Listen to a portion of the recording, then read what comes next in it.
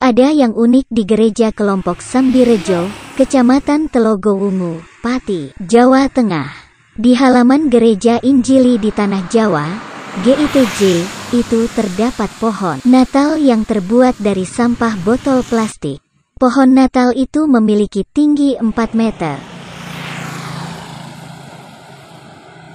Natal di gereja kelompok Sambirejo itu kami punya tema emang go green. Karena apa?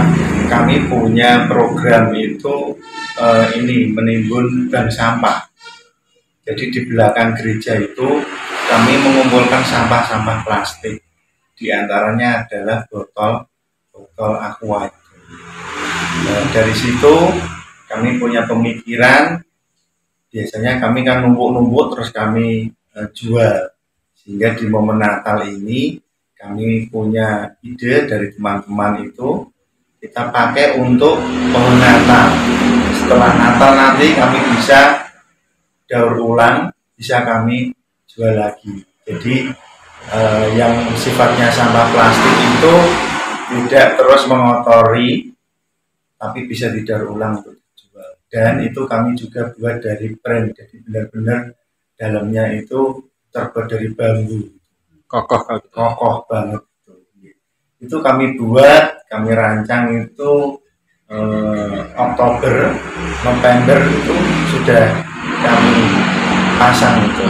Nah, nanti setelah Desember 25 itu kami tambahi pernak-pernik lainnya biar tidak terlihat bosan saat dilihat Berarti itu nanti ditambahi lagi. Ditambahi lagi. Mungkin apa mas? Dapat yang mungkin lampu Ya, atau lampu terus ada Ya, kadang seperti ini Ini nggak bintang-bintang. Iya, Oh, seperti itu. Tapi itu memang saya lihatkan itu biar asli alami dari botol. Hmm. Kami memang punya tema seperti itu dan kami juga punya program gereja itu memang mengumpulkan sampah plastik. ya. Hmm. Jadi di belakang gereja itu ada timbunan sampah plastik. Kami sudah beberapa kali untuk menjual itu. Berapa orang mas yang yang merakit itu? Yang merakit itu dari jemaat sendiri ada 10 orang.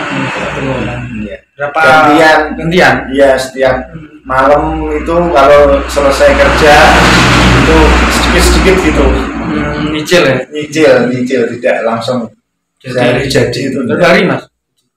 Itu ya dari November itu paling enggak enggak ada satu bulan lah dua minggu di Menke itu Hmm. ya itu gantian itu